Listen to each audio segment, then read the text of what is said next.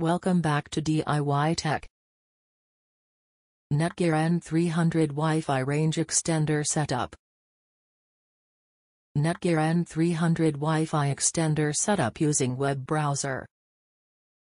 Plug the Netgear N300 extender into an electrical outlet and wait for the power LED to become stable.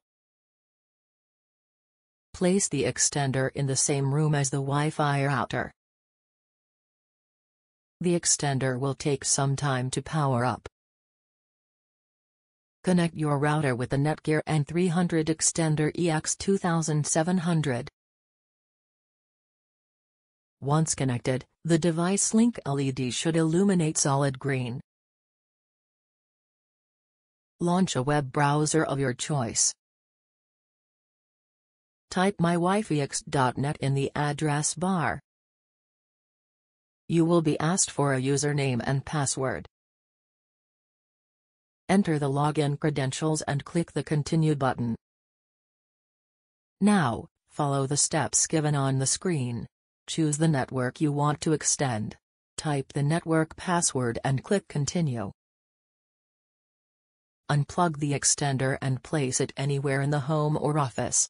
Now, you can connect your devices to the extender network.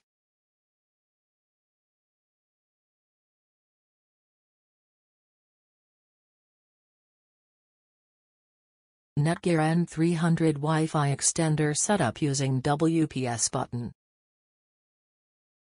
First, you will need to place the Netgear N300 Wi-Fi range extender in the same room in which you are placing the Wi-Fi router.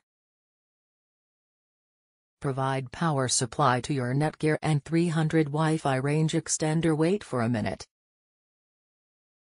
You will notice that the power LED will start glowing in green color, press the WPS button for at least 4 to 5 seconds. Release the WPS button and you will notice that the WPS LED will start blinking. Now, you will need to press the WPS button on router side. You will notice that WPS status LED for Netgear N300 Wi-Fi range extender and the router will be solid green. You can now place the Netgear N300 Wi-Fi range extender at any location according to your requirements.